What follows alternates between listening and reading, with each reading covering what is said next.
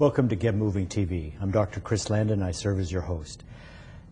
Childhood literacy is so important, and what we do in the first five years, we all think of kindergarten as being a time when kids are starting to learn how to read, and we know that it starts much before that.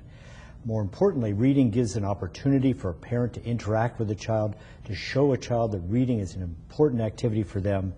Even a child just seeing you reading a magazine tells them that they want to be like you and, and want reading to be part of their lives. We've been working with First Five and in reaching out into the community, we've come across more and more partners all the time. Uh, one of those partners is here with us today, Lori Karns. Lori, uh, principal librarian, could you tell us a little bit about uh, your own background and how you've gotten involved in this program? Well, I've been excited about children and reading for 40 years, and I've been a children's librarian most of those years. I'm a parent, I'm a grandparent, and I love to see kids just light up and get that aha moment when they're involved with reading, whether being read to aloud or they read it for themselves. So this project came by and it was too good to pass up, and we thought that um, it should be done. And what, what's the name of this project? It's called Ventura Reads, and it's a grant that we received from the VEP to do a prototype DVD that models for parents really effective ways to use books in the home. Um, ways to take the book and spin out to a field trip with the family, do a cooking experiment, make a sock puppet, um, do rhyming, action games, and um, we're hoping that it gets distributed through the pediatric clinics so kids can watch that instead of maybe SpongeBob. And um, we'd like to also have it in the Ventura County libraries and distribute through the preschools. Uh, VEP, what's VEP? I'm not sure. Ventura Educational Partnership, I believe, is the name. Um, the grant was obtained by my coworker, Cynthia Hanson, who mm-hmm. is also an educator and a drama coach. So she's bringing a lot of the drama expertise to the project, and I'm bringing the books.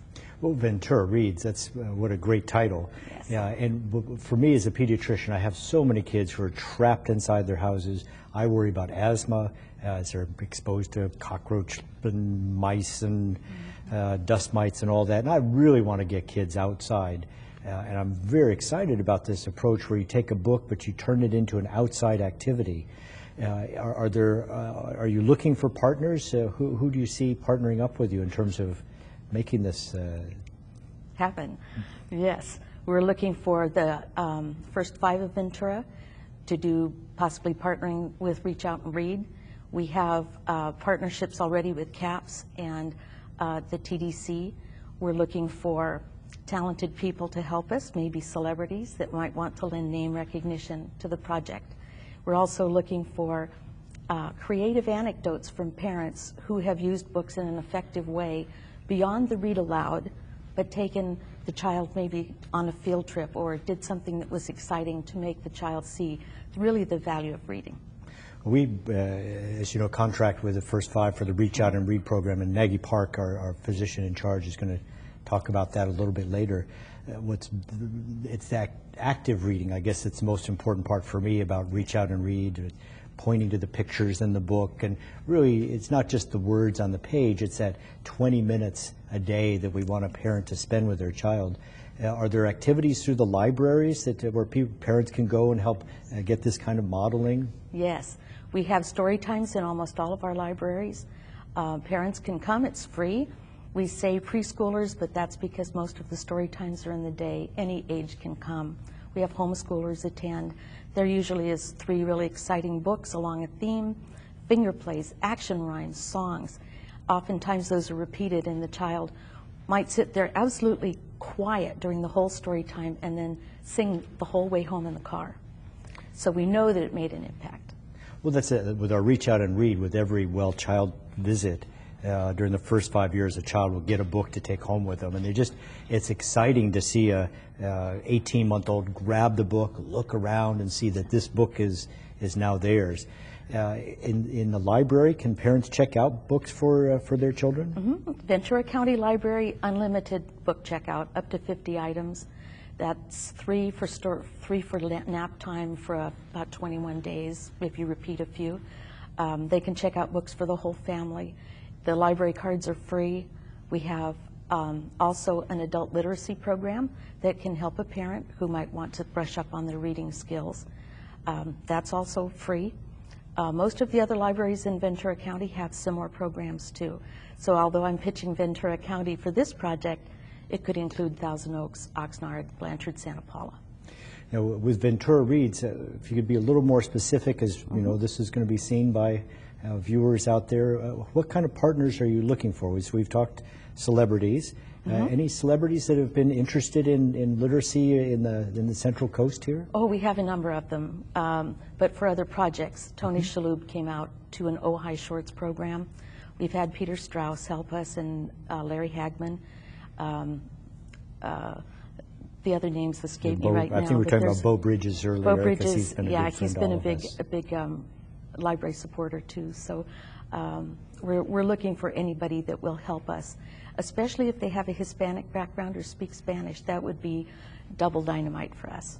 I think one of the other things we've seen is the Mixteco uh, uh, Indians uh, don't have a written language, and so we work very hard with uh, with them in terms of uh, instructional literature and, and really how do you interact with Ventura County. Uh, in terms of other things that you might uh, might need, are you looking for writers? Uh, uh, are you looking to work with the local, uh, like we were talking earlier, Foothill Technology High School certainly is. Uh, if you're out there, we want to work with you, Foothill Technology High School. Are there any other partners that have come to mind, or skill areas that you need? Well, I think right now um, we have a lot of ideas. We don't have a lot of technical background for producing these. We do have the seed money to make the first prototype.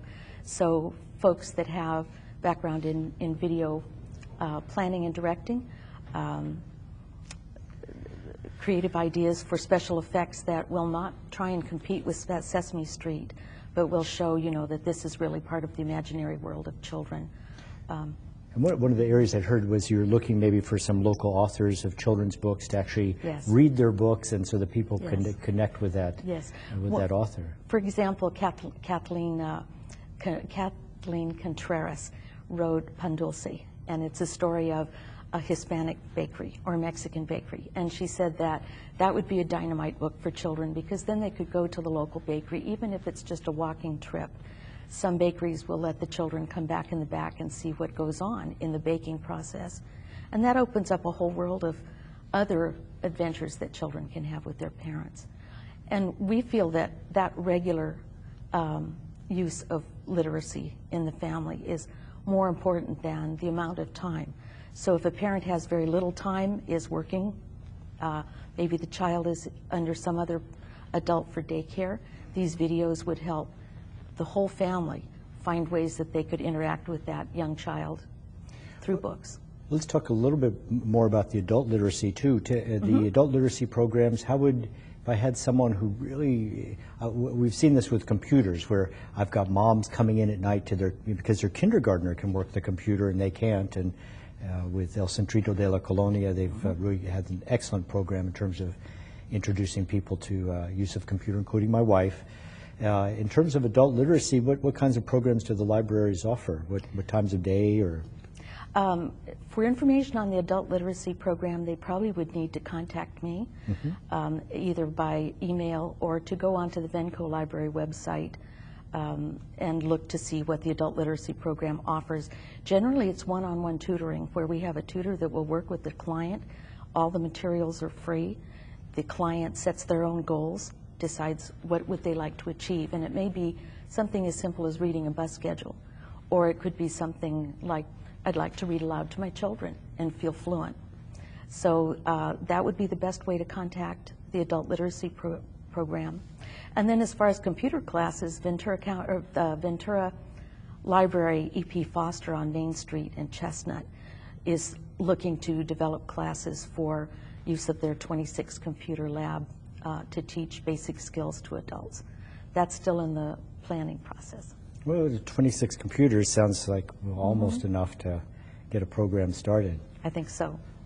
Uh, Lori, uh, you've done an excellent job. I really look forward to, to uh, working with Ventura Reads uh, and, and joining our uh, Reach Out and Read program to yours so that we can really bring those pediat- pediatricians, the family practitioners, uh, nurse practitioners, physicians assistants, whoever interacts with children.